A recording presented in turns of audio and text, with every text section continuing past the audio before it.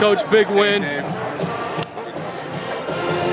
That was a great win. You know, we uh, we we uh, turned it over twice in the first half and screwed up a third and short, which, which really hurt our offensive chances in the first half. But I tell you what, our kids came out and outscored them 17 nothing in the second half. It was a shutout in the second half for our defense. I thought it was a great effort by our players, and it was a must-win game. You, you know, you can tell we're a young team. We still do some things that baffles me.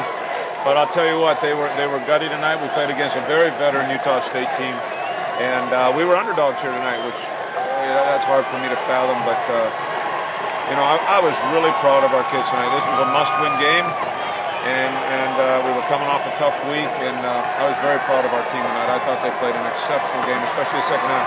We shot ourselves in the foot a bunch in the first half, but we overcame it, and um, that's great. Now next week we go to Reno in another must-win game, and um, our crowd was great tonight. We had great support, and I want to thank our fans.